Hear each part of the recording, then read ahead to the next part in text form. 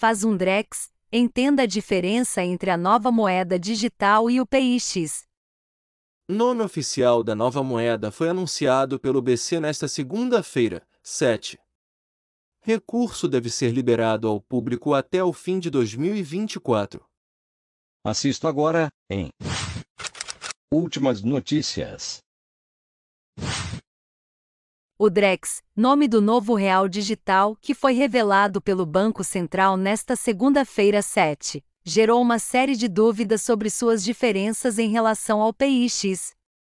Logo após sua divulgação, por exemplo, internautas passaram a brincar nas redes sociais: faz um Drex? Em referência ao envio de dinheiro via PIX.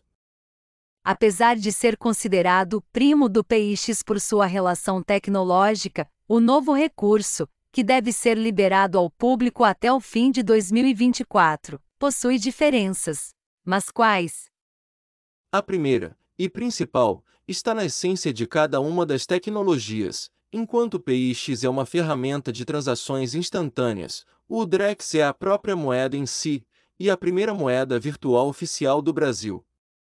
Assim, o PIX é um meio pelo qual é possível transferir dinheiro, já o Drex é o próprio dinheiro a ser transferido. A nova moeda digital poderá ser utilizada tanto para fazer um PIX, quanto para a realização de pagamentos ou transferências por meio de outras modalidades já existentes. Entendo o Drex a partir dos pontos abaixo. O projeto da nova moeda também prevê a compra e venda de títulos públicos, em parceria com o Tesouro Nacional. Será possível, portanto, comprar e vender esses títulos usando o real digital. Especialistas ainda reforçam que a chegada da nova moeda deverá trazer acesso a novos serviços financeiros digitais, como é o caso dos contratos inteligentes, também conhecidos como smart contracts. Além disso, o DREX será usado em outros serviços, como empréstimos, seguros e investimentos. Abre aspas. Estamos usando essa tecnologia para facilitar o acesso a serviços financeiros. Quando você tem o valor registrado e acessível de maneira simples e confiável, você baixa o custo e democratiza acesso ao serviço. Fecha aspas. Afirmou o coordenador do projeto no Banco Central, Fábio Araújo. Outra diferença em relação ao PIX é que o real digital deve ter um custo de uso, Contudo, o coordenador da iniciativa diz que os custos das operações financeiras, como são feitas hoje, serão diminuídos com o real digital. Tem um custo, mas esse custo parece que será muito mais barato. Estamos trabalhando para construir essa tecnologia de forma que seja muito mais barata do que aquilo que temos disponível atualmente, disse Araújo.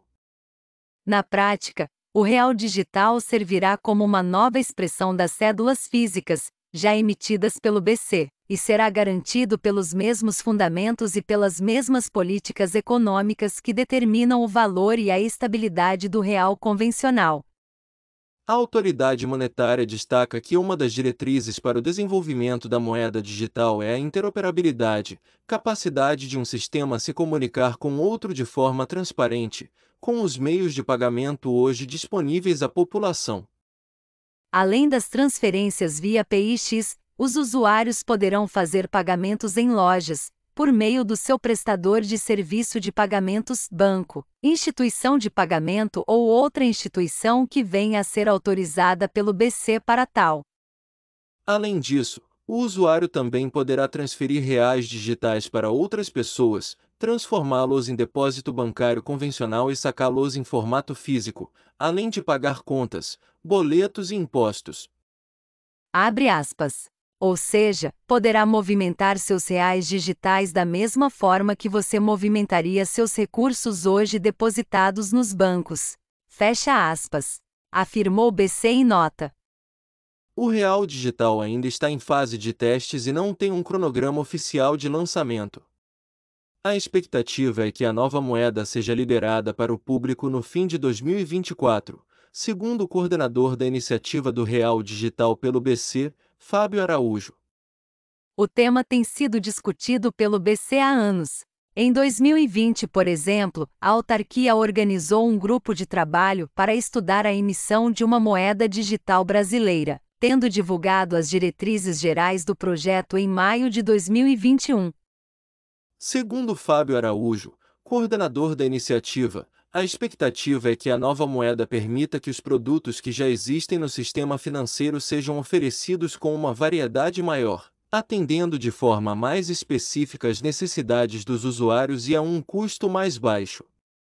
De acordo com o especialista do BC, a ideia é que o usuário abra o aplicativo bancário ou da sua instituição financeira de preferência e encontre várias opções de um mesmo serviço financeiro, que sejam mais adequadas em termos de perfil e custos do que as disponíveis atualmente. Asterisco com informações de Isabela Bolzani e Laís Carregosa, do G1. Se inscreva para acompanhar a cobertura desta e de muitas outras notícias. Veja também essas outras notícias que podem ser do seu interesse.